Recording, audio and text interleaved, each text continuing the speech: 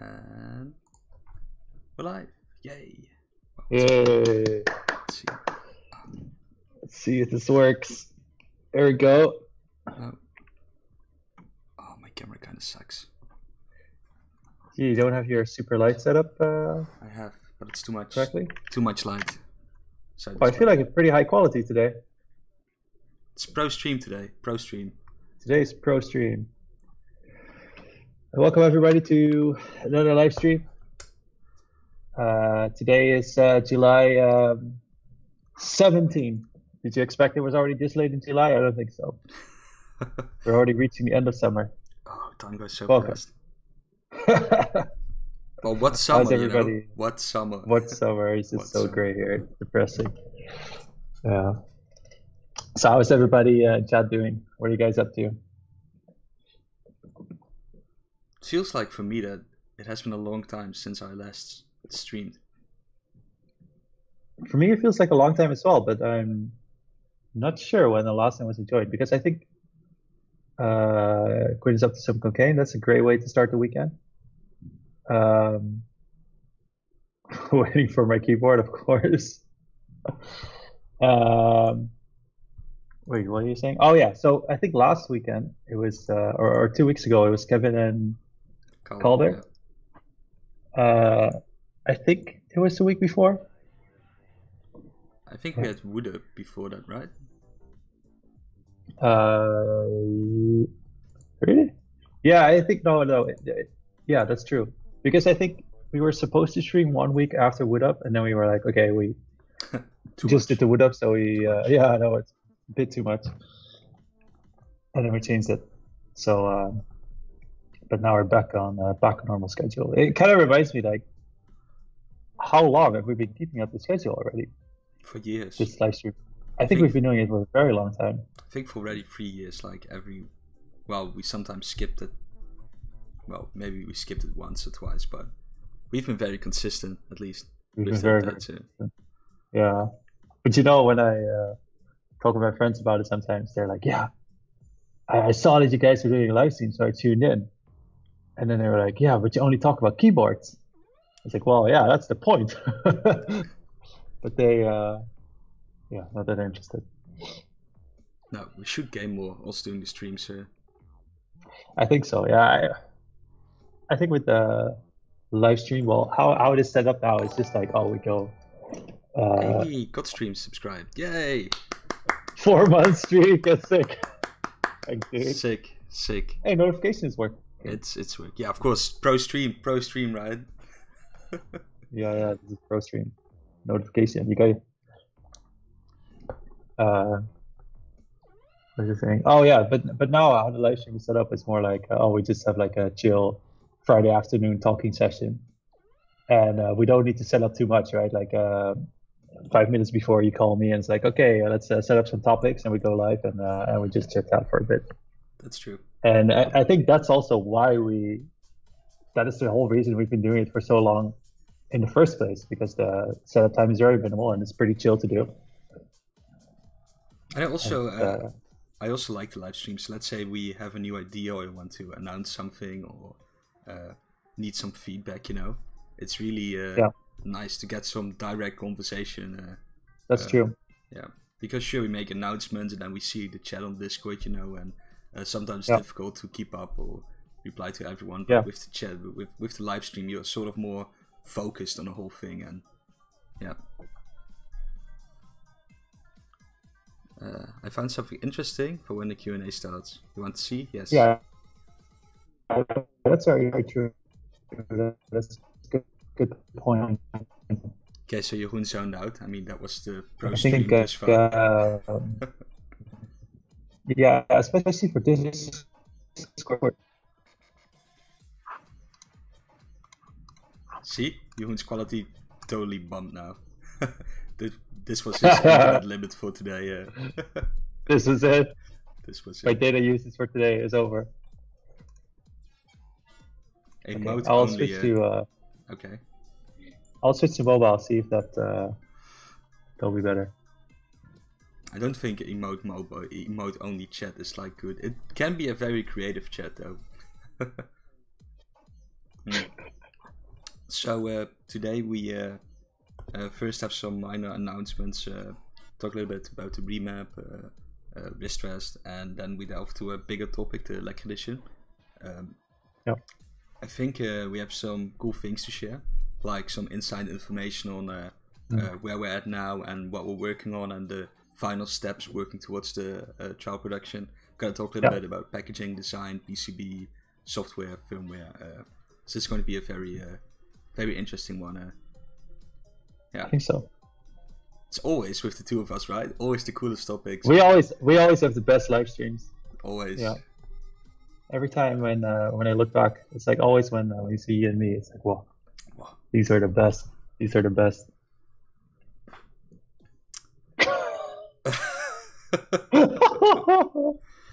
Okay. Uh, okay, let's Okay. let's move on. let's move on. then. So, uh, um, okay, first of all, uh, yesterday we received a whole big batch here in Europe of the full size wrist rest, the black ones. So they're now Oh, back in stock. So if you really want one, you can now order it and you will have it uh, pretty soonish. So that's yeah, very nice. so uh, yeah, with the wrist rest, like uh, ever since the um, uh, BadSeedTech make a it's BadSeedTech, right? Yeah, yeah, yeah. BadSeedTech, C BadSeedTech. Ever since he made the video, like we've seen like uh, a lot of people interested in the wrist rest, and uh, frankly, we're quite behind with uh, production in general. Meaning, uh, we made like a certain estimation at the start, like how much we were thinking we would sell, and uh, turns out we're selling more than we thought, which is of course very good. But then it's like, oh shit, uh, TKL is sold out uh, in the US. I think in the EU now as well. Yeah. And we started the production. Uh, uh, at least we started like the production preparation one month ago, and now it's finished. Yeah.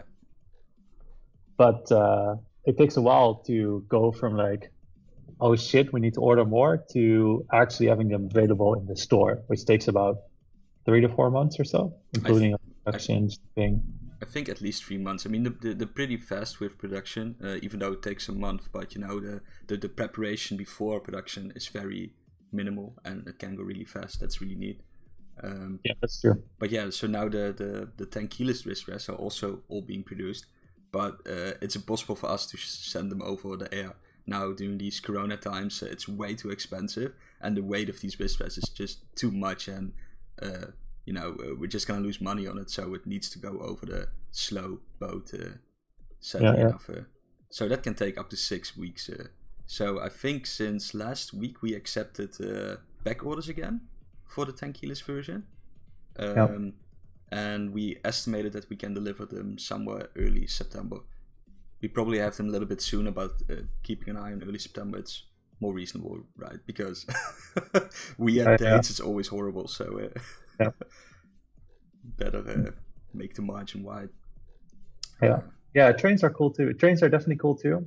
Uh, it's just that we had we tried train once now with um, it was like with the first shipment of the Wooting 2 Mhm. and the train itself was good, but then getting from the train to uh, here in Holland was a big mess. Um, I, I remember there was uh, it was first like stuck in uh, Hamburg or something like that, and then later was stuck in Rotterdam or so. So the train itself was good, but then for some reason the company really screwed up uh, in the last uh, in the last mile, let's say. Yeah. And at least like boat, uh, yes, it's slower. Like the transit time is slower than train. It's just that the process is a lot more smooth, and that makes the overall time the same. And That is, uh, and it's also now more convenient, right? So now with the train, uh, the train needs to go through all these countries with the corona going on, and that's also not convenient. So doing No, it by boat, it's just like a direct line to the Netherlands. That's uh, or to Yeah. the US, uh, and that's just uh, Yeah. way uh, way better. Deutsche Bahn is insanely invaluable. Yeah, I mean, of course, this so this this train we're talking about is train that, that goes from like uh, northwest China to Germany directly. So I don't think like Deutsche Bahn does anything because I think what they will do is they they unload the train uh, at the let's say the train dock, and then the last mile they do by truck. At least that's what I uh, that's what I assume, or that uh, that's what I think at least happened last time. Yeah. Hey, I'm not just seeing Winterjas is in Stockholm. I'm going to Sweden as well uh, in a month or so. Is it a month? Yeah, it's, it's in a month. Oh, they managed drills. Oh, okay, yeah, yeah. Um, yeah, you're going to Sweden. Yeah, but I'm going to go to Sto- Yeah, Gothenburg and Stockholm is like pretty far from each other, right? Yeah, I don't know. It's like two, three hours drive. Yeah. Who knows? Mm. Okay, so the, the, the next little announcement, but probably everybody knows, we launched a remap update last week. Yes. That was pretty cool. Was it last week, Monday, or two weeks ago? Don't remember. Maybe it was two weeks ago already. Was it? No, it was. I think it was last one. Let me see. Yeah. When was the announcement? Seven, seventh of July. Yeah, that's uh, last week. Last week. Yeah, pretty. Yeah, remap update. Uh, remap update was pretty sick. Um, lot of response from it. Uh, yeah, all, all, a lot of people uh, using it, especially for like these small uh, key changes.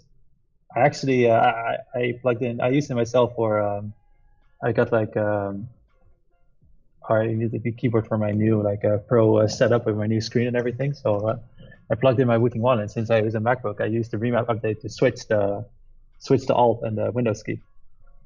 And, uh, and I'm like, wow, that made me so happy that it was uh, it was just uh, useful for me also as well right away. Just from like these small things, like oh yeah, I also play around with the function keys. I still need to do a little bit, but just these like oh, I don't really use this key and I want to put it somewhere else. That's uh, that's just perfect. So uh, a roadblock I hit with the remap it was uh, uh, kind of stupid but way too funny. So Jeroen was at my office like three weeks ago already. Oh yeah. When we made the video, uh, the uh, the the launch video, uh, uh, Jeroen had like like a nice conversation here, and then I edited uh, a screen recording. So first in uh, doing the first take or whatever in the whole story, there was like a joke like, hey, you can even play Russian roulette and bind the power button somewhere on your keyboard, and then you know play Russian roulette with your keyboard. And I uh, recorded it, and then I accidentally pressed the key, so my PC turned off. And the horrible thing was, the key where the power button was was the same key as the first character of my password. so each time I tried to log in, it happened like two times. My PC just shut down uh, immediately. and there was nothing I could do. The only thing I could do was like, okay, plug in another keyboard and. Uh... Yeah, yeah, yeah. oh, it was so bad. Yeah, this this this power button binding is so stupid because there was also I also saw this guy on Discord and he's like, yeah, I mapped the the power button function key, but for some reason I thought what it would do is open up the power menu in uh, in Windows to choose like if you want to shut down or restart, and then his computer shut down right away. It's boom. Yeah. Shut down right away. Yeah. Yeah, yeah. No warning. It's just like it goes off right away. Yeah. Too bad sandwich bread. Uh... Exactly. It's a, it's a, it's a power. Great power comes great responsibility. Yeah. Oh, uh, I. Okay, let's see. Uh, this, this I think a cool one uh, for the feature chat. We can see if it works. Does it work? Yes. Oh, cool image. Uh, will, re- will Remap be Okay. able to do more than just keys? For example, open URLs and start programs. Uh, at this point, we don't have anything in the works for that. But what you could use is uh, auto hotkey for that, right? You could set up these Yep. macros uh, for opening specific programs or URLs. You can just bind them to the F13 up to the F24 key. Add that to your keyboard or your function layer or wherever you Oh, want. hello. Hello.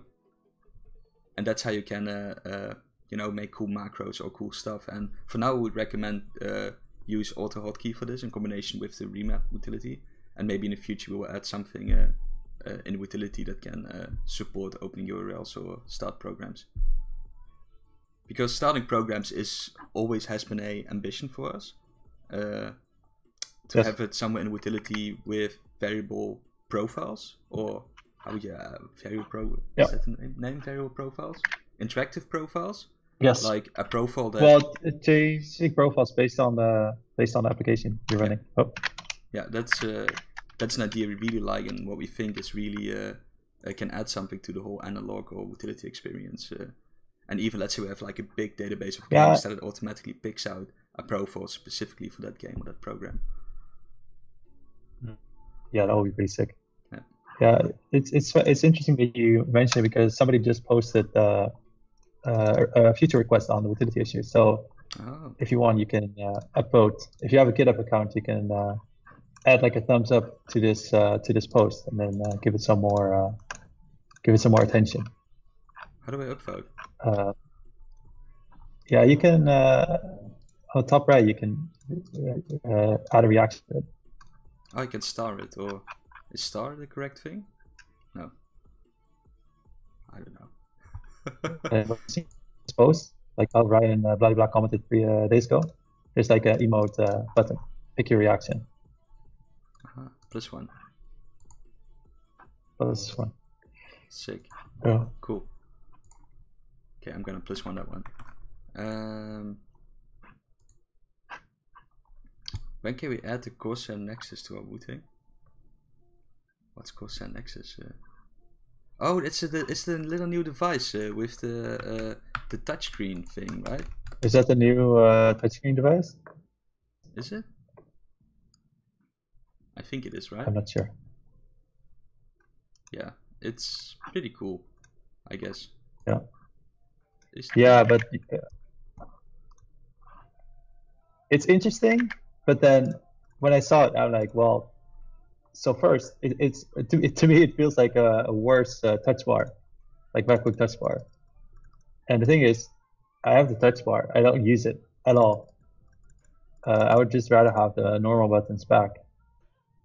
Mm, And then this thing is like, well, you just have a separate thing that is also use that, that is also useless. And also, um, so, so that's one. But two is that they kind of market it as this iCUE software device, which is like, oh, you have a, a $99 device to to interact with your software. It's a, I don't know. It, it sounds like a, it it doesn't sound like a good deal to me. I don't totally agree because I still think it can be pretty uh, pretty cool what you can do with it.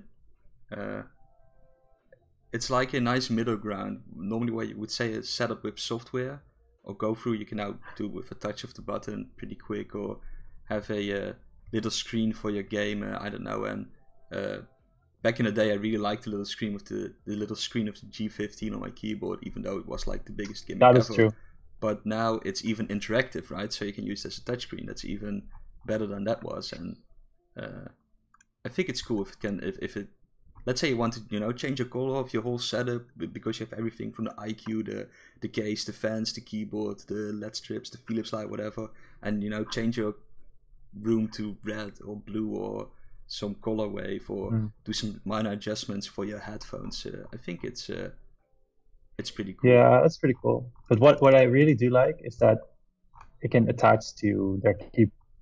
yeah, yeah, that's smart. Uh, I'm mind blown that they, ever, that they already thought about this. That's what I uh, that's what I feel like. It's like because I think the coolest thing ever is is when you have like a let's say you have a certain device, and then all of a sudden you can you can either add this thing on it or buy it and it has like this perfect fit, and it's like whoa, I can obviously so do something completely new with it. Yeah. it's great. Uh, Yeah, I'm a, I'm a big fan of it. Uh, of not not a big fan. I mean, uh, I, uh, I, I'm not a big fan. I, I think it's okay. it's okay. It's a it's a cool device. It's a niche device, and uh, if I had like all these cool things from Corsair and uh, wanted to check my temperatures and everything, I I, I would definitely buy it. Uh, Yeah. Uh, yeah, yeah. But I just kind of wonder, like, uh, how, how, how is it is it a general touch bar device or is it an iCUE or whatever they call it, iCUE um, Corsair iCUE device? Because it, it seems more like a Corsair iCUE device, and then then my question is, okay, how how useful is their software actually? Yeah, it's basically worse stream deck. That's also how you can look at it. But if you yeah, depends what you use it for, right? I mean, checking your temperatures, for example. I have a uh, a gaming friend of mine has like this crazy setup with three screens. It's like, you know, when he games, uh, he has always like these visuals on the screen somewhere with all his temperatures and RAM modules and whatever. And I think it's cool if you can also have it on your keyboard, right? So you can glance at it. Uh, uh, Yeah, that's true. But then, does it need to be everything Corsair for it to uh, to work? I don't know. Okay. Now a serious question. So last time I asked what happens to FlareTech switches, Erik informed me that they will simply pop, disappear into thin air upon reaching 100 million clicks precisely. I must know if the Lekker switch will suffer from the same cruel fate. Um, well, definitely. Just these will explode. The, the Mac, once it spin out, once it uh, makes 100 million rotations, it will explode. And because it's magnetic, it will create a little vortex. So it instead of it explodes and then it implodes and then the switch disappears. And it's yeah, like a little black hole. Yeah. It just disappears into. yeah. we we tried everything to avoid it, but you know it's simply not possible. Uh, Yeah, and it was pretty expensive to test because our testing machines kept disappearing into the black hole. So that was uh, that was tough. no, I think uh, the, the the the Lekker switch are also created for 100 million clicks, and uh, yeah, well, Um, you know what happens with it. I I don't even think you'll reach 100 million clicks with a keyboard. yeah, That's uh, too ambitious. Yeah. Uh, last thing about the the, the, the Corsair iCUE because Hansen says iCUE is terrible, and that's what I thought is that their software doesn't really have a good reputation, and then you basically have a device that can interact with with software that doesn't have a good reputation. That's not very compelling. But maybe some people, a lot of people like I, I've never used it before, so I can't really say much about it. It's uh I uh, I had a really cool experience with Steel Series. So I have these, uh, I have the Steel Series mouse, the rival, whatever at home. And uh, a while back, I wanted to uh, play a game on my MacBook, so I plugged in the mouse, and uh, uh, the mouse really worked like crap on the MacBook for some reason. You know, because some mouses, mice just they, they just work crap on MacBooks. Uh, mm, and yeah. uh, I downloaded the the software, which was horrible to use. But there was like a firmware update, and then I could you know set my DPI and everything, and then the mouse worked like pss, silky smooth, and it was like perfect for the Mac. But as soon as I turned off the software, it was like oh gone, mouse is crap again. And it's kind of weird that you need to have the software open for your mouse to work properly on a MacBook. And That is weird. yeah, because I would assume it would save everything on the mouse itself, but apparently it doesn't. I don't know. It's so nice. Nice on OS X sucks because of this terrible acceleration curve. Yeah. I I I never noticed it with my with my mouse. Um, so what is the how, what is the bad feeling about it? Uh, Like what happens? well, it's. Uh, I think for Mac, like what, you mentioned, it's the mouse acceleration, but it's also because of the Retina resolution. And I don't think many. It's just not optimized for third-party mice. Because you can imagine if you buy uh, because the trackpad works excellent, right? And the Magic Mouse works like like a charm, but any other things like apps that like uh, psst, get away, uh, only one real stuff. Uh. But yeah, so so I was quite surprised that the software could sort of fix it, but as soon as I turned it off, it was like that. So it was kind of bummer, but still uh, interesting that it worked. Uh. Oh, super slow to start, move a little bit faster on the other side of the screen. Yeah, Logitech mice work well on my Mac OS. Uh, that's what I figured because I, I I'm using a Logitech uh, Mm. G304, and I really like. Uh, I I don't notice notice any issues on uh, Mac. I think it's pretty good. It- from a steel series, it also feels like that it's sometimes skipping positions and it sort of hacks towards one place, and you don't have like that precise control over it. Oh, oh, okay, that really sucks. No, I I, I don't notice that at all. Maybe maybe it's what God says that uh, Logitech mice are just working well on uh, Mac. Should have bought a Logitech mouse then. Yeah, Logitech mice are very good. Yeah, the only thing the only thing I have is uh, I um, I have this uh, USB dongle for four USB ports, and I also plug in the mouse receiver there. And so sometimes if I have like more multiple devices on those ports, especially like more active devices, then uh, then it will just like uh, skip frames sometimes, Hmm. skip mouse frames. Uh, just a stupid dongle crap. That's uh, Because of Bluetooth, you think? Or is Oh, the dongle just this- crappy? Oh my god! Oh, this this is what God says uh, about uh, using a different scroll direction. I just keep having to change that setting. I think you can fix it with like a with like a separate app or something. Yeah, I don't want to download the Logitech software, but I guess uh, I should check it out sometime. Okay. Hmm. Uh, What were we talking about? so let's focus on the real topic and let's try to make a stream marker now. Uh, sorry, Daryl. Uh. Sorry, sorry.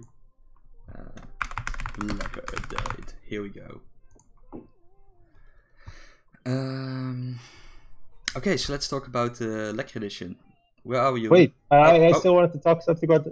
Okay, Okay. never mind. Oh, no, no, no, Let's no. talk about Lekker now. No, no, no, no. It's fine. It's fine. It's fine. Okay. Just move on. let's move on. Uh, that's live. Uh, yeah, lekker edition. That's live. lekker edition. What do you? Uh, uh, so first, it's very nice and it's not comforting. Well, it's, it's a little stressful, but it's very nice that things are moving pretty fast now. Hmm. Um, uh, we, I think before, no, let's say like especially like COVID period, March, uh, April, like things were just moving slow, and there was just like some things that need to be prepared and moved, and uh, and we were also like uh, still like in the middle of the factory transition and that kind of stuff. But now it's like uh, whoa, it's uh, it's really accelerating. Because um, so now we're doing the final touches before like our first trial production. And every day it's like okay what about this? What about this? What about this? And i'll f- figuring out all these uh, details. Um, all these like final uh, let's say final uh, steps before doing uh, production because there are a lot of things to prepare for for mm. production. But actually doing all of them now.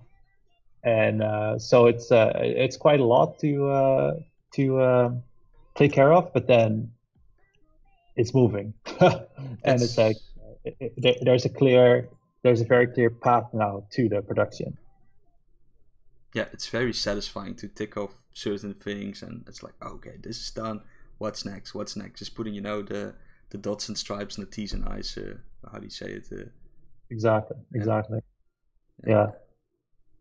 but yeah, the only thing is that especially for kevin so yeah.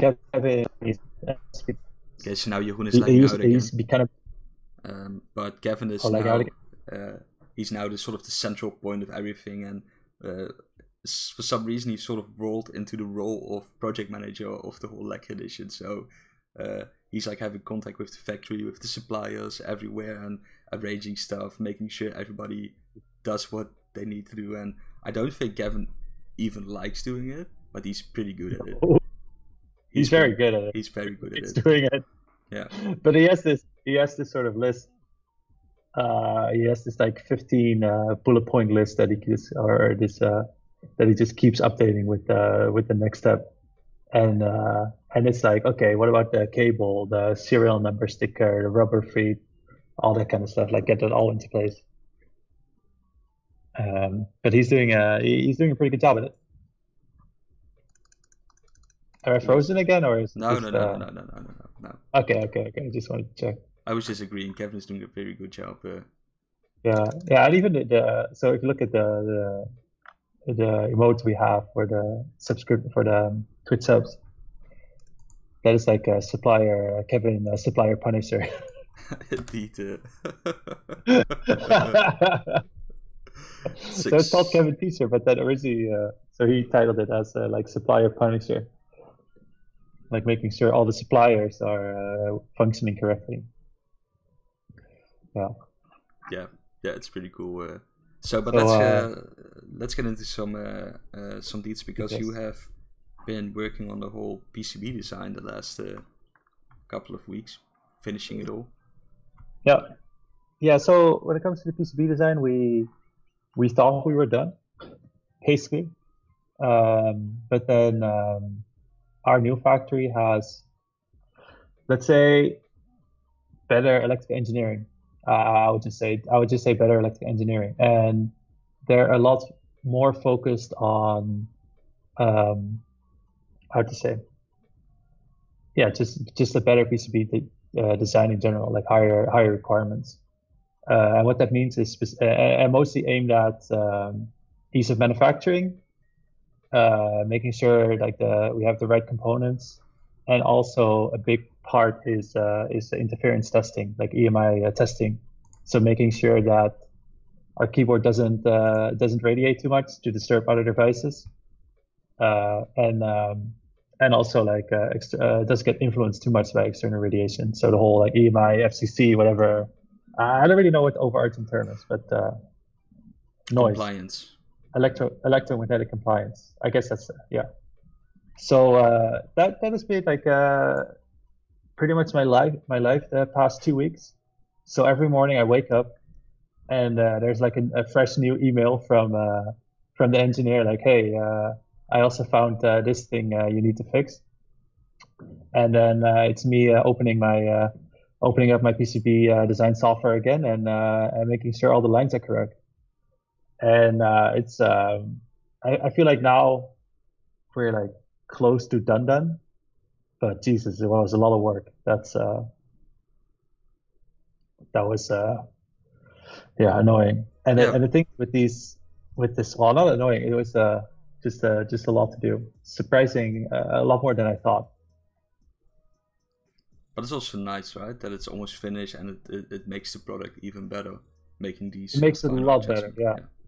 Because if you look at the if you look at the design we have now and the layout, so the, specifically the PCB layout we have now, so we have like uh, so the the EMC uh, the compliance is a lot better.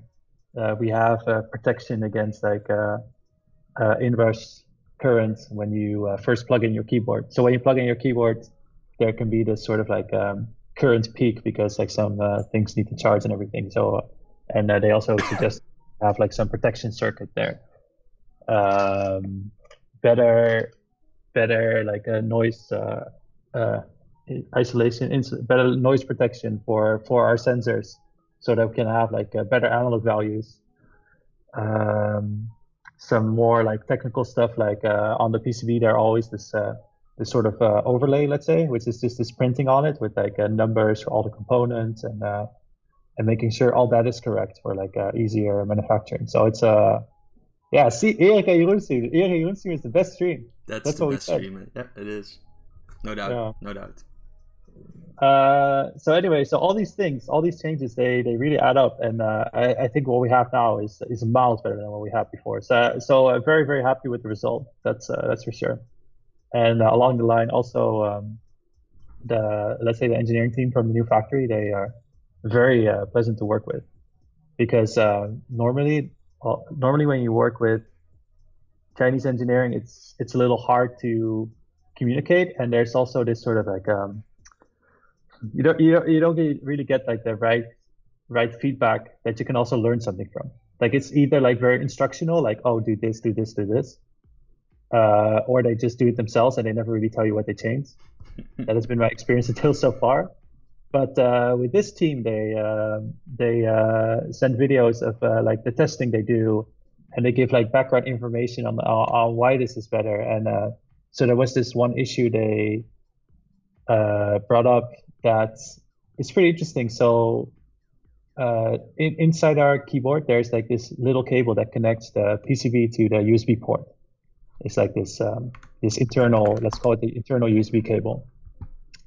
And what they found out is that the copper inside the internal USB cable can interfere with the with your Hall sensor voltage, let's say, or your Hall sensor result and uh, they showed like videos like how they tested this and uh, they had like a lot of ideas how to prevent this. And uh, we ended up with like a pretty nice solution to um, to prevent uh, to prevent it from uh, from influencing like any uh, any signal. And yeah it's great because these kind of things like either they um, if you don't have somebody like actively working with you with also with a lot of experience you might find you, you might discover them once you're already too late. Mm. so it's been really good to um, to really work on uh, yeah getting us all uh, getting us all right now. Yeah, and a lot and so the last thing I want to share about the PCB stuff is that uh, PCB software. I don't know what they do, but it really sucks. It uh, they uh, it, it's just designed by engineers. That's what it feels like. Classic. It's like designed by people like me, uh, which is fine because it's also used by people like me but that I would appreciate a bit more if people like Erik uh, would just like take a look. Uh, if they had like people like Erik on their team sometimes, to take a look at uh, uh to untangle the big fucking mess uh, that is uh, PCB design software. Yeah. Yeah. Because I I think that's the issue with all the specialized software, right? I mean, there aren't that many yeah. users that use it, or like a very specific group, and they're sort of used to this crap. And yeah, exactly even though it's nice to put you know a UXer on there and you know fix the whole workflow for everybody, it's probably not worth the whole investment for this kind of software because engineers are, so, yeah.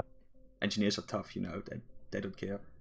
no, and also like if you change something for an engineer, they're like, oh, eh, uh, what happens? And I get this this this this uh, this uh, short circuit in their brain. At least that's what I get. The short circuit. Like, oh, change, change. Uh, I have to get used to it. It doesn't work. Uh, don't want any change. Yeah, exactly. Yeah, and, and, one of those choices, for example, is that in this PCB design, you have like uh, you have two layers, your top and your bottom layer, and those are the most important things you'll focus on constantly because you'll draw some lines on the on the top layer, and then you draw some lines on the bottom layer. And what they do is they make the top layer red and the bottom layer blue, but it's very bright. And I assume they choose it one time because of like it has a high contrast. But then the problem is, is when you look at it for a few hours, and then later you lie in bed and you close your eyes and you can still see red and blue everywhere. Like it's like uh, uh, it's just imprinted in your eyes because the color is so strong. And I don't really understand why they don't just pick more colors that are more like softer on your eyes. Yeah, you know, yeah, just one of those things. Too bad sandwich bad what Quinn says, but it seems nice that you would that you have like an actual partner, not just some random factory who just says yes, it's fine. I still don't think the the, the, the factory we're working now with is an actual partner, but they are very uh, professional and proactive with issues, and that is something unique for China, I guess. At least the, all the factories we have worked with in the past, just yeah, proactive. Uh, yeah, proactive. That is uh, that is pretty unique. Yeah, it's also why we choose them because um, last year Calder uh, made like a big round of uh, all kind of like different manufacturing partners and, and the main reason we choose this one is that with this one, Calder really felt in the conversations that they were like thinking along with him to creatively solve issues. Yeah. And that was just something that was missing a lot from from our conversations with other factories, where they were either like um, you don't really have the right people and they and they don't really know what they're talking about, uh, or they're just too focused on um, just getting a product going uh, as fast as possible and uh, they'll tell you yeah we can do it cheaper than the other ones. But then for us we we want a, a, good good relationship and, and, and, a lot of feedback and, and make good products.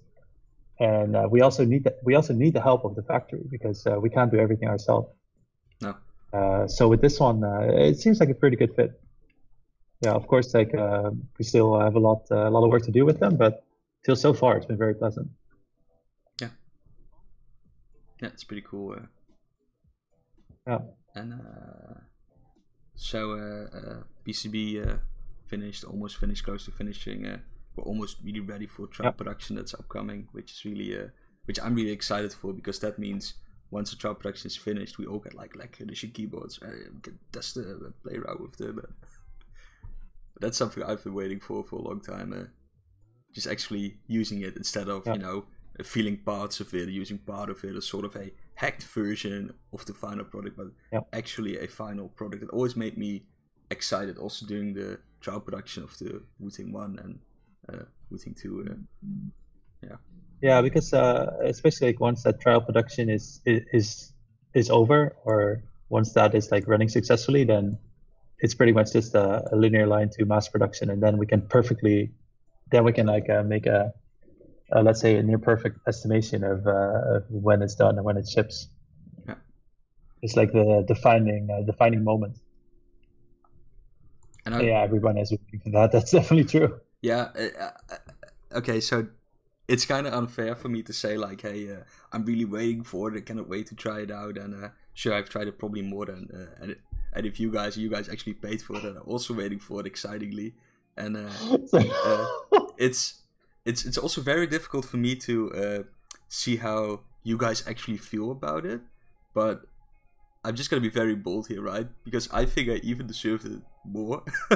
because you know, no, no, wait, wait, wait, wait, wait. We've been working on this for over a year, right? Uh, you almost... deserve this a long time. No, no, no, no. Wait, wait, wait. Um, all these people like literally paying wait, wait, you money to make it, wait, wait, and you're sitting there like, yeah, but I literally deserve this more than you guys.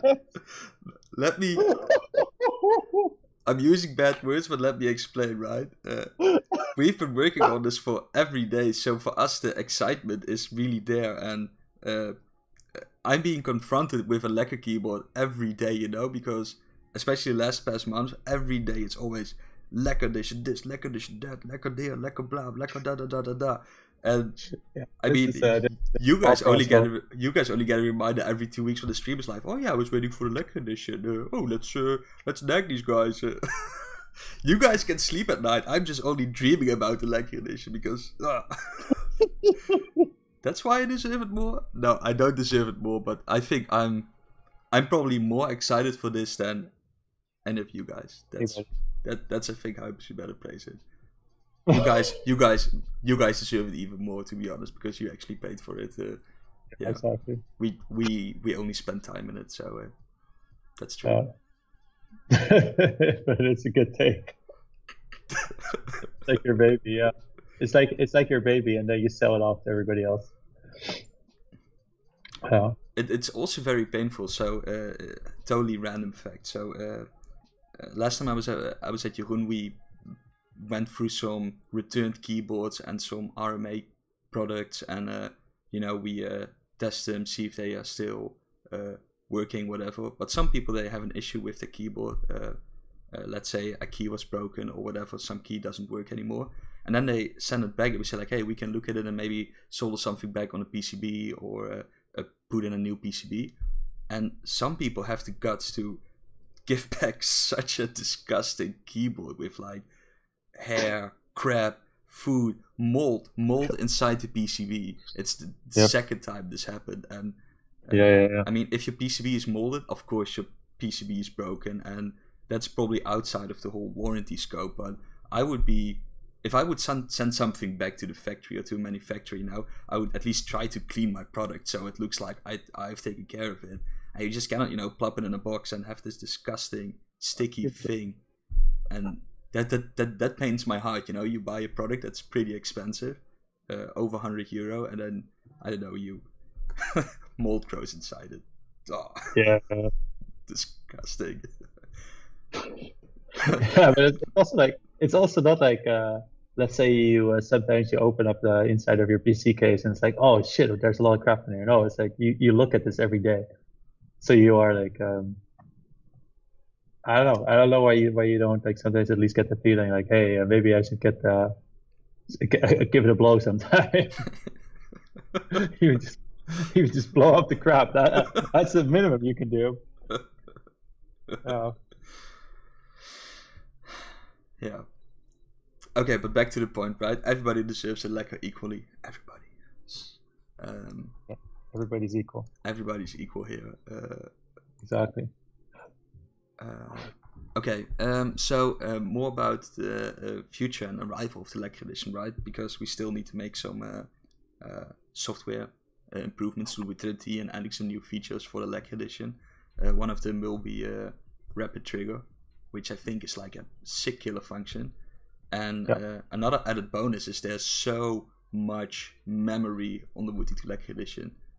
It's yeah, so yeah it's much. insane. It's for keyboard it's pretty insane uh, and uh, yeah we can do so much cool stuff with it and have it all inside storage on the keyboard uh, yeah like a single key uh, activation point where you can adjust maybe a key of a, uh, an activation point per key uh, have even more uh, sick RGB effects uh, all stored inside your uh, keyboard without external software running it uh, and uh, yeah, Jeroen, what's up with that? yeah, so now we uh, we really started working on the on the like a firmware part.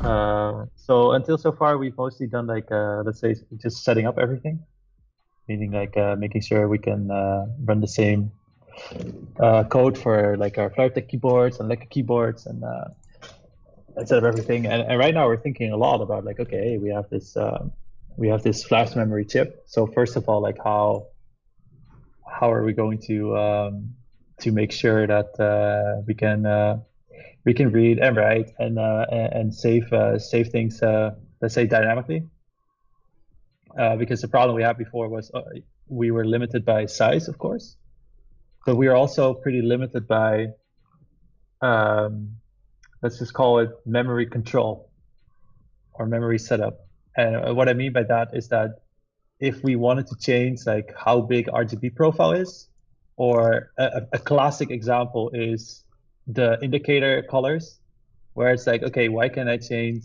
the caps lock color and the FN lock color, but not my num lock color? And and the reason is is and, and, the reason is that the the how we control the memory is very hard to change.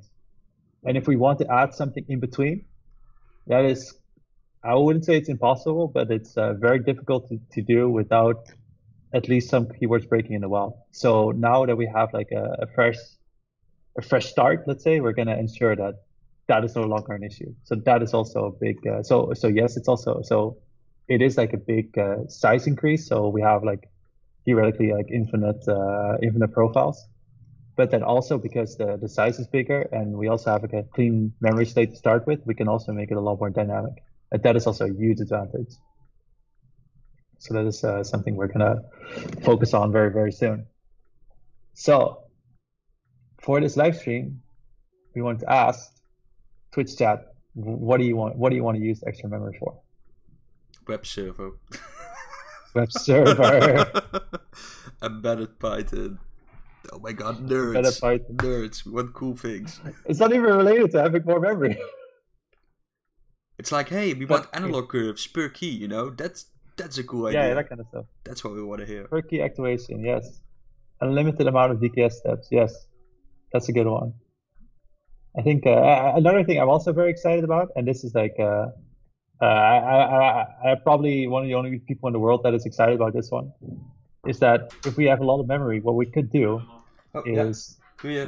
when when you do a when you do a firmware update, what we could do is uh, your keyboard will just still be running, and we already secretly like uh, send over the the firmware update to your to the flash memory chip, and then when you press the update button, your keyboard will only need to restart and then it will quickly load the firmware locally, the new firmware locally. And then you just restart the keyboard and it will have restarted with the fresh firmware, with the new firmware. So because right now we're just wait, we are waiting on the USB transfer, and with uh, if we have the flash memory on the keyboard, we can uh, we can have like instant instant updates, and already prepare everything in the background, and then there's only one reboot required, and you have your new firmware. Whew. That's pretty sick, right? That's yeah. pretty sick. Yeah. yeah.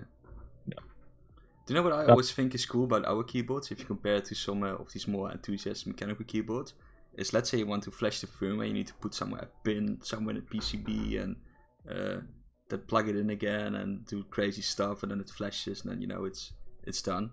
And with us, it's like bloop, bloop, bloop, bloop, bloop, yes. That's uh, yeah, that's cool. The update is that what it's called?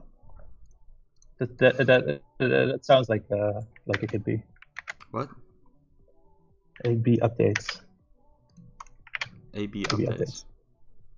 Technical terms. It's, yeah, it sounds like this. And minimal downtime. A/B testing is different. It helps you during firmware development. I mean, it's not even about like faster update timing because the the update time will be if you just see that's one process, it will be longer. But the key advantage is that, yeah, of course, like it's it's not gonna everybody uh, is updating their their their, their keyboard firmware every day. Um, but then a big advantage is that um, right now the firmware update is a little scary. I think. Uh, so I, it made me think about uh, earlier earlier this week. I read on Discord like, hey, um, I, uh, I, I started the firmware update and the bar was like uh, almost at the end, and uh, I was too afraid to, uh, and the keyboard didn't turn on, and I was too afraid to replug, and I waited for 20 minutes until I replugged the keyboard, and then it was working fine again. And um, I'm not sure like how much this happens, but I, I, I do know that update process is very like um, sensitive, let's say. And so what I hope will happen if we do this uh, AB uh, update, that we are able to control the the accuracy, is accuracy or the process a lot more, and um, so that it becomes like a lot uh, smoother and also like uh, let's say um, yeah a lot uh, we're able to check everything a lot better.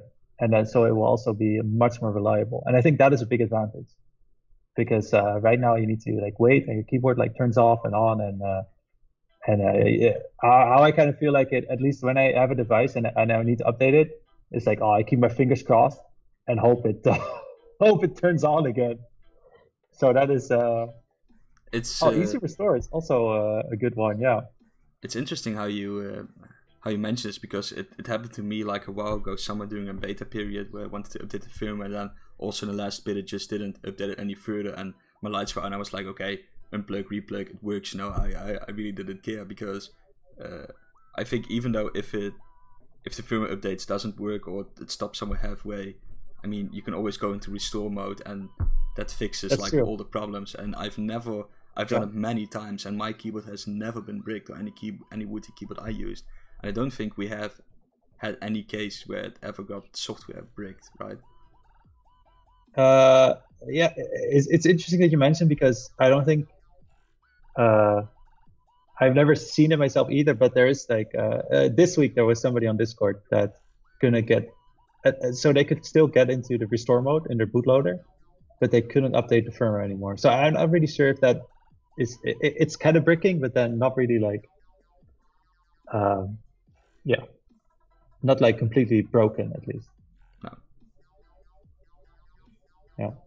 Even in the past when I had like the very first beta period of the Wooting one, there uh, I remember when people uh, the beta testers finally got it at their homes, and then it also went to crap with the uh, uh, with the updating of the firmware, and that's why we introduced you know the uh, restore mode. But uh, even those keyboards weren't bricked in the end, right?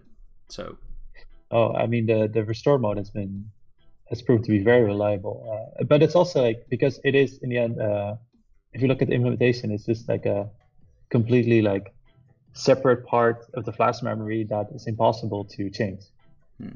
uh, from the outside, let's say, and that just makes it very reliable because you can always kind of go back to it, no matter what you do, no matter what you do with your settings, or no matter what you do with firmware updating, as long as you don't like. Um, have some sort of special tool, you, you cannot change it, and and that is that is a great thing. Uh, but then then still, uh, I, I think so. We have this trust in the restore mode, let's say, but I assume that everybody does. Uh, no, you you don't have that um, uh, automatically. So I think uh, No, no, no. For, for certain, so let's say you update a camera, for example. Uh, it was always like, oh, you go to the website, download the, the weird little file, whatever the name is, and then it says like Yeah. big fat letters there. Oh, be cautious, firmware update. Uh, don't Yeah, remove yeah, USB because don't else the world will die and your product Yeah, will explode. And it's like, oh, okay. it's like okay, USB in there, then it's updating, and you know you're looking at it, and it's go it goes really slow. You see it on your camera itself, and it's, it's like like, oh, oh, who, and you're sweating, and then oh, firmware update failed. Oh no, it failed. And then oh, you plug it, in, and then the old firmware is still there, you know, because the, the most products won't break on the firmware update. But they always also make it so scary that firmware updates are Yeah, scary yeah, and yeah, yeah. be taken serious. Uh, yeah. Yeah. Yeah, and- and that's that's because by by nature it is a it is like a sensitive operation. But and so if we can make that better, I think that's a huge improvement. Yeah. If it's not a SD card, it Yeah. does. True. I mean, then it's just a. yeah. I got just got my Wooting one unstuck. I was unable to use the function layer. Yeah, I, I- I guess that was related to the latest uh, remap update. But then, yeah, I mean, anytime, let's say there is an issue, uh, usually restore fixes it. That's a little piece of. Uh, This Magic. one is actually very interesting. Cross says, could the Lekker have restore by, for example, holding the mode key for 10 seconds without the utility, so without an internet connection? That's also nice if you have like a very steady firmware version there, sort of a backup, like if everything fails, you don't have any internet and you want to fix this, because now you need internet, right, to uh, uh, restore a keyboard and the utility. Yeah. Uh, but Yeah. having a option inside your keyboard that resets to a safe firmware, that's it's not even a dumb idea. With all this memory, you own so much memory. all this memory. Yeah, I mean, it's still not infinite, of course, because the firmware is like big enough to at least like take up a sizable chunk. But in theory, that's possible. Yeah, I think it's definitely something we should explore. But can a keyboard restore itself? So does it also need computing power from a PC? Or can a keyboard actually do it all by itself? it, it should be able to restore it by itself. But then I do think uh, if you want to fix a broken keyboard, you would need to like replug and press the button or something like that. Uh, if you want to repair like a keyboard running, I, I, I, think you can just you should be able to do that just by holding a holding a key.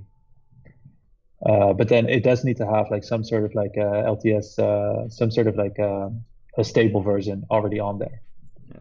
But then we do need to also have some sort of like uh, default settings and stuff like that. But then, yeah, could work. Is it possible to tamper with the calibration data? Uh, no. But then the one and two they don't have like a per key calibration. Should we have something for the Lekker edition that can calibrate? Because it's also difficult for use to calibrate keys. To be honest, uh, you can only the only thing that you can actually calibrate is like the top position and the bottom position because nobody can hold precise uh, a switch yes. at a certain point. So it's also a very low key version of calibration instead of what you can do in a factory with a uh, machine, for example. Yeah. So yeah, to give some more context with the with the Flaretech switches, because at the start of the press, the light is blocked. Um, so that means that, of course, you can still make it better with calibration, but if you don't use calibration, it's not like uh, it, it won't be really bad or something. Because at the start there will just be no light and your value is zero always. Let's say. Um, so you always have like a at least like a reliable let's say you always have at least some reliability in your output. But then with the with the Lekker switch that's not the case because you're at the start we don't block our magnet. It's not even possible to block the magnet. Um, so there will always be some signal with some variation because your magnet has like 10% uh, tolerance. Your sensor has some tolerance. So that so there will always be like some variation in your uh, in, in the Lekker switch, in, in between the Lekker switches. So what that means is that for, of course, you can still get away without like calibration, where you just say, oh, I, I will only start reading values from a certain range, like a safe range. But that is not very nice because uh, then you, you can definitely uh, you're definitely going to start noticing differences in between the keys. But then, what is nice about uh, the Lekker switch and, and magnets and Hall sensor combination in general is that if you have a start and an end value, you can make a reasonable estimation of how your curve looks in between. Um, because it will it will move in relatively the same way every time. Let's just call it that. Um, so that means that if you want to calibrate, you don't necessarily need to accurately press a key a certain distance and have all these data points in between. If you just have a start point and an end point, you can make a very good assumption. You can make a very good interpolation. So that is something that so that is also what we're going to do.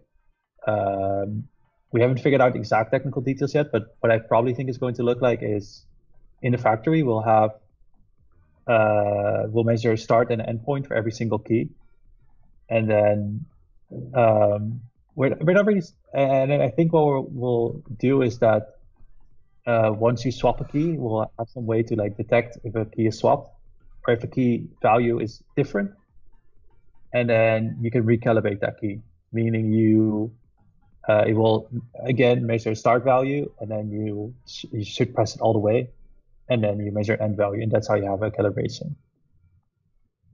Yeah. That is kind of the process I've been thinking about. It's also nice if a user can recalibrate every key on a keyboard. I mean, it's it's kind of a job, but it should be. A... Yeah, uh, I think so. Yeah. Uh, ideally, you would want it to be like as smooth as possible, but then uh, maybe it also like provides some sort sort of more like a feeling of control where you feel like, oh, I it doesn't really feel that right. I can I can just recalibrate if I want. Yeah, it's it's also a nice feeling for end users too. Yeah. Uh, CrossFit says you could calibrate by pressing the key down multiple times to read the average curve. That's true. Uh, the only issue you'll have is that can you read fast enough to get like enough data points in one press uh, to have like a to have like accurate representation. Um, and also like uh, you, you still don't really know if the user presses it all the way incorrectly. Let's say because you don't really know like how the user is pressing, but you can like make a good estimation. Uh, God says, any idea to open up RGB calibration to the utility? Different keycaps have different effects on color accuracy. And then you look at it is a similar question: Is the white color better on the Lekker edition? So we haven't changed anything yet about the RGB calibration or RGB. Let's say, uh, uh, yeah, this is called RGB calibration. Mm, so uh, I would say it's the same. Uh, it's, it's not better for, for any specific reason. Um, it, it, it, might be a good idea to do some sort of RGB calibration. Yeah, yeah, because uh, it could just be simple as uh, just having some factors per color. But then, if you if you say different keycaps have different effects on color accuracy, do you mean like, like on a keyboard, like different keycaps of the same set, or like different keycap sets? That will. Uh, I, I, I, I'm not sure. A keycap will definitely influence the light, right? The, the things that shine through, like if you have a thicker keycap, less light, light shines through, and it also depending on the material, what's inside the keycap, how light reacts to it. So it really depends on the set if you really look at a keycap basis, how it can yeah. differentiate. Like different sets, like not all the keycaps from a single set, but yeah. So, for example, for the Lekker edition, uh, let's say it would make all your keys blue, then it will probably look different under the yellow keys and your Wifney keys and your white keys. The light that right. actually shines through. So there, there's like a difference in there. Yeah, yeah, yeah. So it's nice. So it's nice if you have like a Lekker edition, then I can like tweak it and figure out the best mm. color scheme so it looks really nice, and then share it on the profiles.wooting.io and uh, everybody can download it and everybody's yeah. happy. It's like, whoa, sick, Aaron, sick. Yeah, yeah, yeah. Yeah, I, I, guess it's also like when you have like have like a let's say a certain uh, uh, profile profile color profile, then it's like okay, if I load this on my Wooting one, and if I load this on my uh, edition, it will it will it will look the same. Okay. Uh, oh, you call it You would. It's it's you have like this weirdest yeah, lag ever. It's like sometimes you say okay. words twice and. Uh... yeah, that's what it is. I can I can this is what it is. Wait, let me uh, let me switch the volume. True, because this isn't pro stream, you. This isn't pro stream. Man. Uh, this is not pro stream. Um, Three seconds. Okay. Uh oh. Oh, is he back? I think he's back. Hello, Jeroen. Alright, let's see. Okay. Where do I put this? Oh, I need to like change the whole streaming setup now. Thanks, Jeroen. How is this? Is this good? It's uh, it's better for sure. Okay. Oh, let's see. Ding, ding, ding, ding, ding. Hop. Let's make your Jeroen a little bit bigger. Oh. Here we go. Here we go. Pro stream. Pro stream. Um, Pro stream. I was thinking about the rapid trigger, right? Uh, yeah. Will rapid trigger be on a Wooting one and Wooting two? Uh, not sure yet. I think uh, I think we could, but maybe in a more like um, uh, how to say simple way. Yeah, like a simple way, or because I, I, I it will be less accurate. That's for sure. But budget trigger. yeah. yeah, I could. It, it will be less accurate. Well, the thing is, uh, so, mm-hmm. there's one thing I'm. Uh, I really hate. It's like, hey, there's a new product, like a new iPhone, and old software doesn't work on the, you know, the the, the older iPhones, uh, for example. And the same goes for uh, our keyboards, in my opinion. I it would be terrible if like a Rapid Trigger works on a Lekker edition, but not on a uh, Wooting one, for example. Uh, yeah. In my opinion, it really sucks because it's also a cool feature that would add to the Wooting one. But at one point, there's just a uh, hardware limitation that the keyboard cannot handle it, and I think that's also where we should draw the line. Like if it's not feasible with the hardware, then it's just like we did our best, but it's not working anymore. But Yeah. would never do a software lock based on version, right? It's like, oh, well, you Yeah. buy the newest version. yeah, it's really lame. Where it's like, okay, if, if fundamentally it works, but you could just kind of like uh, make this uh, this software limitation. It's like, oh no, uh, you have to buy this new version to uh, to use this new feature. F- feature, feature, Feature, feature, feature, not feature, future, Fe- feature. feature. Uh, so that is, um, yeah, that will be really lame. Uh, uh, we'll definitely look at it because um, uh, I think it will perform the same way as in um, as in the Lekker edition, but then uh, we uh, we we will try to add it in some way. Maybe more like with uh, with uh, let's say like bigger zones or something like that. So it's pretty cool. New, stuff coming to the utility for the Lekker edition. Uh, uh, Yeah. Putting the final touches in for the mass production. And talking about final touches, there's also like the whole uh, packaging, right, of the Lekker edition. Yeah. So the actual the actual box packaging has been done for how it works and how it looks has been done for quite a while.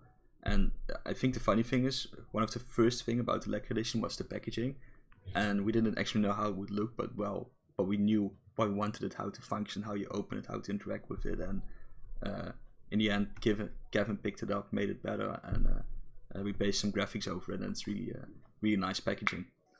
Uh, Yeah. it also takes a lot of time to make these, uh, uh, to just make packaging in general, and everything that uh, uh, comes to it, like all the little details that people maybe not realize that also has to be done, right? So uh, Yeah. Uh, uh, it's uh, it's it's a small thing. So like the sticker underneath your keyboard, um, that's also something that has been made, right? Uh, Somebody needs to design it. Uh, uh, needs to be a certain quality, needs to be tested, needs to be checked out based on the keyboard, and needs to do stuff. And now there's like a funny thing where we're at, like even the little details on the sticker. There's like this FCC logo on there as well, and uh, I think I used the official FCC logo also for the Lekker edition.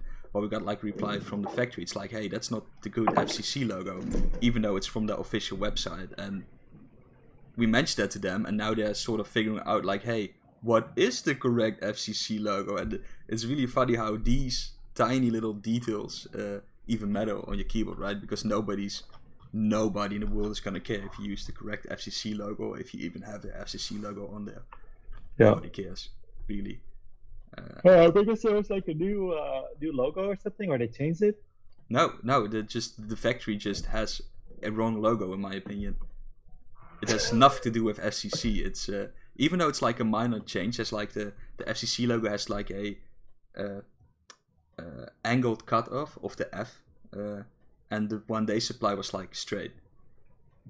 And you Hmm. know it's not legit, but all these things, you know, you need to take care of it and needs to be designed, and also the uh, labels on the master boxes. Master box needs to be designed uh, the labels on the keyboard, uh, the things that you put Mm. inside the packaging, uh, and uh, Yeah, yeah, yeah.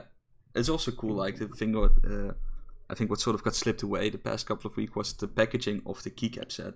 So for the uh, ISO keyboards, there's like an extra uh, keycap set if you have like German, uh, UK, or Nordic, or whatever. So you can swap out some keys to make it your correct language, and these are also Yeah. separate package packaged.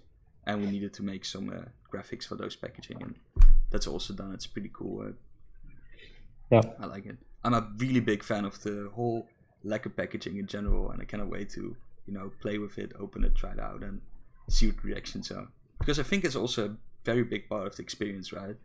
You anticipated this keyboard for already a year. It's finally arrived, and then it comes in like neat packaging. The unboxing experience is pretty cool, and then you plug in your keyboard, and everything should work slow, smoothly, and then you throw away the packaging, and nobody cares anymore. But still, it's it's all part of the experience. Uh, Yeah, I think especially with this one because the the packaging is also we made also unique for the Lekker edition.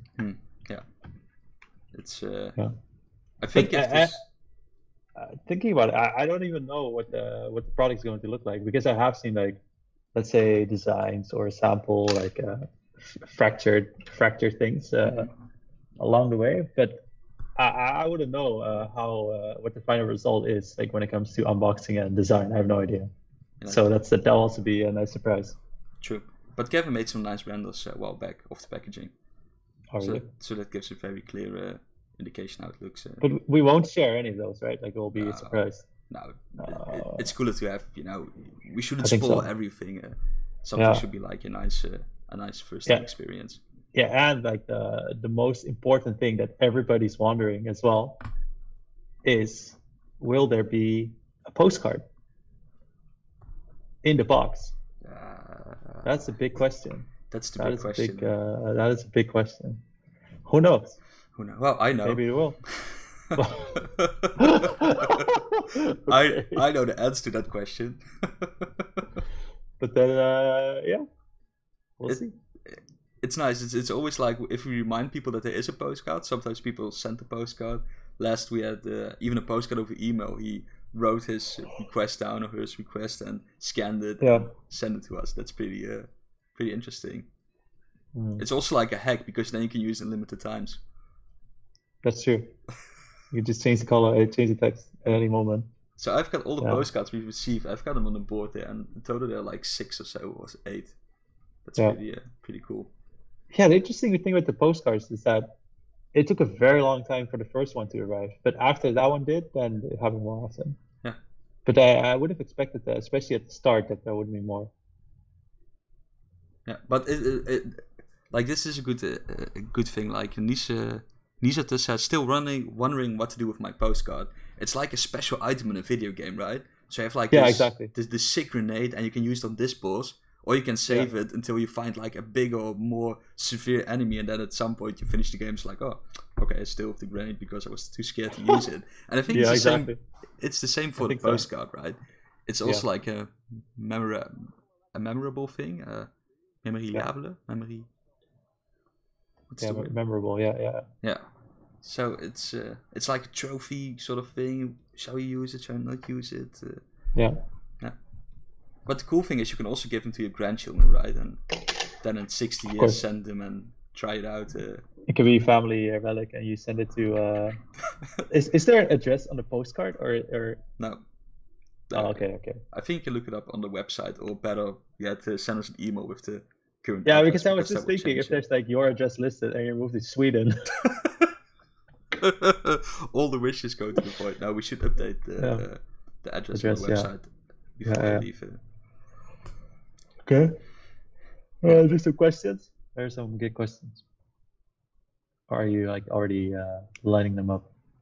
Uh, I'm gonna do now. That there's this question that's been in the queue for a long time from Nanocard. Snack bag will still be delivered at the same time as the keyboards, right? Yeah, I think so. I think so. Yes. No, I mean, like, I haven't heard any changes about it. Uh, I, I'm not too involved in the snack bag process, but then, uh, as far as I know, that will just uh, that will just uh, stay the same. So same. Uh, no, not sooner. No, definitely not sooner. It will just all be one part of one big batch. Uh, yeah. Uh, again from Nanocard. Nanocard is like on a roll today. Uh, what other Yeah. non-keyboard things are you releasing soon? Soon. Well, we have the is- OS, we have the OS device we're working on, of course.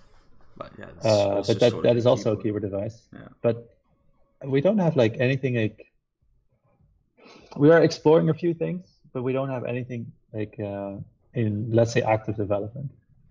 Well, There's there- nothing like past exploration phase at the moment. is one thing that was sort of exploring wrist rest related, but it's uh, it's an exploration. I think we're also Oh. sharing doing a stream uh, different colors. Right? Oh yeah, uh, yeah, yeah. yeah. Yeah, different So, colors. Different colors for the out. wrist rest. Yeah. So we're experimenting with different colors uh, for the wrist rest and even different color patterns on the wrist rest uh, and that kind of stuff. Yeah. Uh, uh, Yeah, we're taking uh, taking inspiration from Dragon Dildos. Uh, that's all I've seen from that. That's so good. It's the best. they actually have a great great silicone uh, silicone manufacturing, but uh, yeah. Uh, uh, yeah, but no, we're not really working on any. Act- no, no, there, there are things in the pipeline. Mouse pads? not working. Yeah, mousepads is uh is uh, uh in let's say an exploration phase. We haven't like um so so we were looking at different products or specific color color house. Um, but we haven't like really found the right, let's say the right way to do it yet. It, it's, it's similar to the business where for years we kind of like explored to to have like the right what we feel like is the right way until we settled on this let's say solid silicone idea and i was like okay this is what we need to go for. And then we made it. And and with the mouse pads it's the same where we we tried like different things but we don't really feel confident in something where we feel like oh this is something that is like uh, something we really want to do. So uh, it's very easy to make a mouse pad. You can just be like uh like uh what's the guy? Uh i don't know. There, there's a lot of like mouse pad companies now that just like do oem stuff. And that is something we could do. It just doesn't really feel like the right thing to do it's it's so funny that there are so many easy products we can make OEM styles, and even some really cool killer products. But still, uh, we we always want to take the the, the better, well, the, the high route, so to say, and try to make it our own and give our own spin on it. And you know, I agree.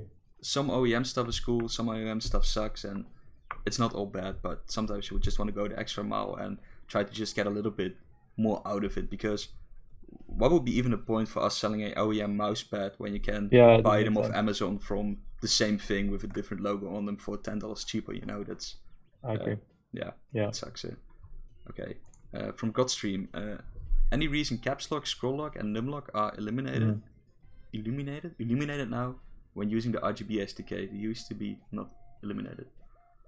Yeah, that's a bug. We we already have a we already have it fixed. We're gonna uh, we're gonna do a patch release of the firmware uh, with the remapping uh, today or start of next week. That will include the fixture that's, hmm. uh, yeah. It will go back to how it was before. How many types of Wooting postcards exist? I want to collect them all. At the moment, there are only two versions. There's like one we used for the early batches of the Wooting one, and then there's a newer version that we used for the newer versions of the Wooting 1 and the Wooting 2. Wait, there are two different versions? I no, no, no. no well, well, well, for the Wooting 1, at some point we updated the packaging, and that was also the point when we included the new postcard. So there's like oh. a postcard that only has been sent out during the kickstart Whoa. of the Wooting 1, and I think during the first two batches. Yeah, so do you have a, free. Do you have an example there? Yeah. yeah, yeah, yeah. Show, can you show the difference?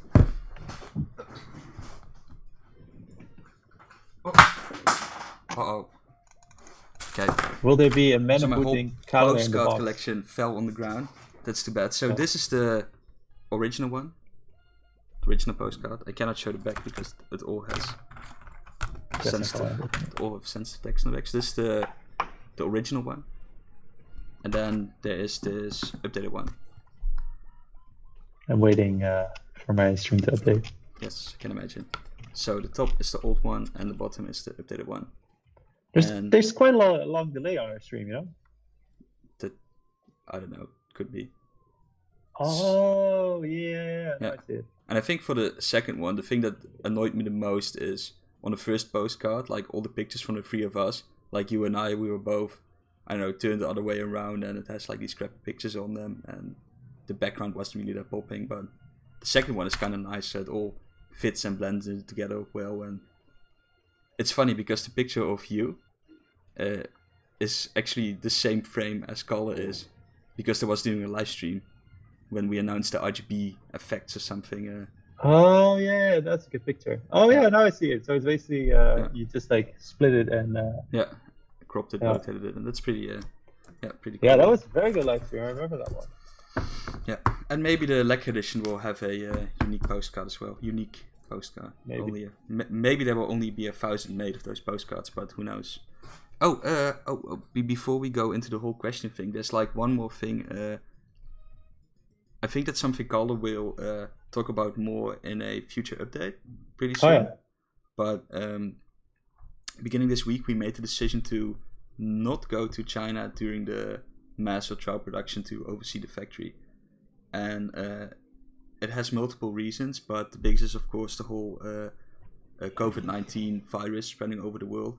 And it's yep. difficult to go into China because you need to go there, uh, get your visa, uh, be in carry, be in quarantine, and then visit the factory, and if you want to leave the country again, then you need to be in quarantine again. So it takes a lot of time to do it, and it's not really worth it. And there are some other uh, ongoing things in uh, uh, in China we just want to avoid. It's not worth the risk. So now the first question is like, hey, how do you guys uh, uh, make sure the quality is up to standard and the factory doesn't cheat you out, right? And yep. for that, Jeroen, we have a solution. Yeah, we do. Uh, am I taking it now, or what is this? We build an Android, and Jeroen can control it with VR. Uh... beep pop, beep pop. No, uh, no, but that'll be sick. We bought like the Spot uh, Spot robot from uh, Boston Dynamics, and it will walk around the factory uh, at, at manufacturing time. Yeah. Yeah. Uh, no, but the thing is, there's like this. Uh, can I name the company name of it? I could. I think so. Yeah. Yeah. So there's this company called VTrust, and they're specialized in audits and overseeing uh, manufacturing quality processes, control. quality control, and yeah. uh, so we're gonna use that company, and they will be our eyes and ears in the factory, and they will make sure everything is up to standard, and they will, you know, do some little yeah. tests and trials, and uh, yeah, make sure the quality is up to standard. Uh, because yeah, that's so, yeah. that's very important for us. Yeah, we started using them um, for the wrist rest production mm-hmm. because uh, we know like it's one of those things that we want to keep control over, but we don't want to go there every time because for the uh, keyboard production we went there many times for the actual productions themselves to oversee it ourselves. But for the wrist rest, the, uh, we wanted to try like using external partner, and we've been very happy with this one because it's so cool because uh, they'll go there and they will do like a, a range of checks you will uh, instruct them to do. And they will write these reports. And the reports are very extensive. Yes. So you get this massive pdfs with like a, with a lot of photos. And they do like uh, uh, they drop boxes. They check the packaging. They do like a function check. Uh, they do they pretty much do everything you want and my favorite part is that at the end there's always this photo where they have like uh, them at the factory with like the factory owner or something like that. it's always super awkward. yeah, it's really nice, to kind of yeah. prove that they uh, that they've been there, and it's a uh, it's a great way to keep like an overview uh, from the side, and they, they they're very professional, which I really like. Okay, this this is a picture I'm gonna share. It's like a really s- little small snippet of the report, but this makes me laugh every time. Oh yeah, that's great. It's the function check. of the wrist rest. it's so good. so at least we know that the wrist rests are really good because somebody checked yeah. it on the function. You're able to put your wrist on the rest. Nice. Check. Yes. Pass. Pass. so if they go into this depth, you know, you know that they're doing a good job. Uh, yeah. yeah. It's, almost a meme. This one is so good. Yeah. Yeah, and uh, uh, yeah, this is something we wanted to share, and uh, uh, Calder will have a uh, more in-depth update about this whole topic uh, uh, yeah. in the near future, uh, before the trial production, probably. Yeah. Yeah, yeah. There's also something. Uh, I think something else that was like, a, at least for, for us, it felt like an important decision, is that um, Oh wait, should we talk about the like the numbering stuff? We we we won't talk about the other detail, but at least the numbers. Okay. Right? Yeah. Okay. okay. So uh, so we talked a lot about serial numbers uh, this week and what to sticker on the bottom of the keyboard. And uh, of course, because uh, we'll produce a th- well, we are there are a thousand people that have pre-ordered the Lekker Edition, but then the issue is we're not going to produce exactly 1,000 uh, because we'll have like uh, some extra, some coming from uh, uh, maybe the trial production that are really good, all that kind of stuff. And we also need to have some sort of leftover, and maybe there's like quality issues in between. And the issue we we were kind of thinking a lot about is um, with the serial numbers is that we're not able to guarantee that we'll have like exact serial numbering between one and 1,000. That is, or one and yeah, one in 1,000. That is really, really hard. Or zero in 999. And what we, uh, yeah, we're, we're kind of like, uh, what we decided to do is that the serial number will run a little bit over 1,000. So it will probably be like uh, 0 to 1100 or 0 to 1200, kind of depending on what happens with the trial production. So we can have like a, a consistent numbering. So the the, the, the funny so, thing is we, we, we need to produce more than a thousand, right? Because we need some keyboards uh, for spare parts, and uh, if a keyboard is broken uh, within two years, whatever we know, we, we need to send out a new one uh, because yeah. you know uh, that's just uh, how it works, and that's what we do. So we need to produce a little bit over a thousand. and another thing that can happen in mass production, it's like oh somebody puts a sticker on a keyboard and uh, it sort of gets crooked or whatever, and it's like, oh, this sucks. Let's tear off the sticker and put the next sticker on there, and then you lose yeah. a precious serial number, right? And yeah, it could yeah. be like number 500. So some serial numbers in the whole range of the 0 to 1000 will get lost during mass production, and that's why you need to uh, have more serial numbers ready. And uh, just a little warning that uh, if you get a serial number that's like I don't know uh, uh, 1150 or something, you shouldn't be scared that we made like 1150 keyboards. Uh, we made a little bit over a thousand, and uh, uh, it's probably because of mass production fails that uh, uh, yeah. number is yeah, it, yeah, it was just uh, really hard to have like exact numbering. That was that was the issue. but we will have something, a little surprise to make up for it. But we're not going to share about that one yet. Yeah. the forbidden serial numbers, yeah. Yes. The Jeroen pushes chair all the way up to be taller. Yes, exactly. And okay. I also like uh, have my camera below now, so I can look down on. Uh, I'm also on not, I'm also not sitting. So let's say I would sit straight, and I can even bump my chair up higher. Up, let's go, higher, higher. So, uh, uh, okay, this is better, right? You could also just move me down. That would be pretty funny. So we'd be worried if we see serial number 2000, yes. That's something yeah. fishy going on. There. Yeah. I, like, uh, I think, like, best case, best case is like, um, yeah, I think it will be like 11, yeah, 1100, something like that. I hope it won't be too much because then the, the chance that, well, yeah. I hope it won't be too much, but I, I, I think it will, it will be something along 1100 or so you can see the same thing with the uh, Boutique 2 production, right? Even if you only produce a thousand, you can have serial numbers up to 1200 doing a single batch. Uh, but that's yeah. uh, not really a, that of an issue because you're not buying a limited run, you know? yeah, yeah, yeah. Yeah. Yeah, but it's uh yeah in this case it's a it's a little bit of a shame because it is like the number is an important thing, but then uh, we, we're still gonna give it a little twist to make it unique. Yeah, that's pretty cool.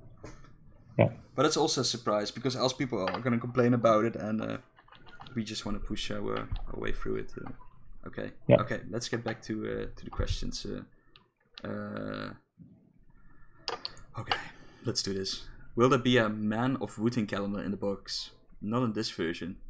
I still. I don't know where this idea originally came from, but I think it has been going on for years about a nude calendar or just a sexy calendar. And I think at yeah. some point we should actually just make a calendar with keyboards. Can you imagine like standing naked there with a key? I don't know, dude. It's uh, I think it's funny. Uh, maybe one. It is pretty funny. It is pretty funny. Yeah. Uh, okay, those are all the questions. We're done. It was a nice right. stream. Thanks everybody for watching. now, uh, are there any more no, questions? I think we, yeah, I think we at least covered all the topics, right? Yeah. let's see what to do with it. Packaging label. We won't go to China. Why? How to insert quality? Yeah, another thing with the won't go to China is that, or at least what. Well, first of all, I, I really want to go to the factory, of course. Uh, but secondly, uh, we were not able to make the vlogs. And that that is something I'm pretty bummed out about. To make the vlogs factory vlogs. production oh, vlog. yeah, yeah, yeah. Yeah, because that was always, at least like for me, a highlight to follow and to and to create and to see uh, and to have this. Uh, let's say it was just a, a, beautiful way to to bring people along. That's what I always felt like with the vlogs, uh, because it was like more we couldn't outside of from directly live streaming in the factory, we, we couldn't get more closer to people than this. No happy Jeroen. Exactly. Yeah, yeah. It's very sad uh, very bummed out about that one. So we're still like thinking about what to do when it comes to, uh, let's say this uh, video uh, gap. I think we're just gonna make videos of ourselves along the way, like uh, share I, I don't really know what to do yet. Um, I mean, uh, of course, there, there won't be like these in-depth blogs that we made in the past running through the factory, but it will be like uh, video updates during the mass production, Yeah. uh, and uh, yeah, yeah, yeah, we will just see what kind of information we can uh, we can share. Because I think during the last uh, video Jeroen and I made about Wootility, we sort of saw again how cool it is actually to make a video, and uh, it's it's I think it's cooler than reading a blog at least, you know, having a video Yeah. there. So it's yeah. I agree. I agree. Yeah, the the future. the future. remap uh, uh, video update was quite nice. I think we'll do more of those. Yeah, we should do more in the feature. Good one, Erik. Yeah, vlogs did give a very personal feeling for making them. Yeah, definitely. But maybe I think features from- can make vlogs fast, right? Hello, Yeah, yeah, Ding, well, hello. No. yeah, maybe. But um, yeah, yeah. I I was also thinking like maybe there's like a, a Chinese uh, Chinese YouTubers that can make like a, we, we actually had like a Chinese YouTuber come along to a factory trip before, but they made like vlogs in Chinese, so it's not also uh, not that useful. So we'll need like a, a Chinese YouTuber that also speaks English very well and it's like a good quality and everything. I like that idea, Jeroen, you know that? Really? Shouldn't be difficult. I mean, uh, is Fiverr active in China or do they have something else? Uh... Yeah, well, I mean, there are like uh, a lot of Chinese YouTubers. Well, they're not YouTubers because YouTube is blocked, Yeah, yeah. but there are like uh, uh, people that produce vlogs for like uh, what is uh, Bilibili and uh, WeChat. I don't know what they use uh, for video. Yeah.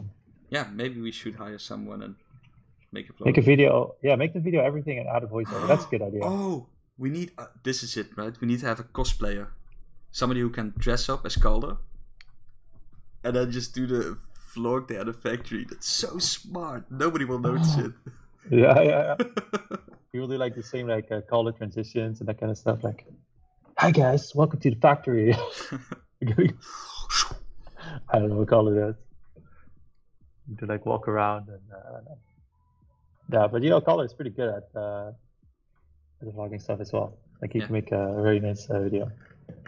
Get a girl, female Calder, Calder voiceover, yeah. But I think having them like uh, create some uh, videos, but you know, th- if they make the videos, it's like I don't know, but it'll probably be crappy video. That's uh, that's uh, that's the issue. I mean, if somebody can, yeah, we'll uh, we will figure it Yeah. out when we get there. Yeah. Uh, Yeah, Yanni speaks both English and Chinese. and yeah, but but but she's in but people from Taiwan, yeah, exactly. They would also rather not fly from Taiwan to China at the moment. No, because in a case where Yanni can go, Calder can go as well, right? So Yes, that's true. doesn't make that much sense for Yeah. to send Yanni there. Yeah, yeah. Yeah, yeah, and uh, yeah, and, and when it comes to them making videos, of course we can we can get videos, but then uh, I can already imagine like us trying to make something out of it, and it would just feel so crappy. But uh, yeah, we, we could at least try The- to get some uh, some footage out of it. I think if you have like an idea how the factory looks from the inside and how the lines are set up, you know, you can instruct somebody very clear. Oh, we need footage from this, this angle, this, blah blah blah blah blah. But you know, we've never seen it there in a mass production environment, so it's also difficult to instruct someone. You know, Yeah, that's true. Yeah.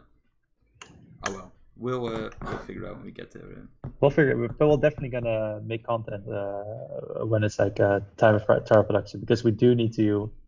I feel like we really want to have like the same, at least like try to have some sort of like a, uh, some sort of story you can follow along with with what it like with the vlogs where you can just like live follow like what is going on in the factory. Yeah, dev vlogs, yeah, something like that. Okay. Well, I think I need to end stream here because uh, there's a lot more to do today.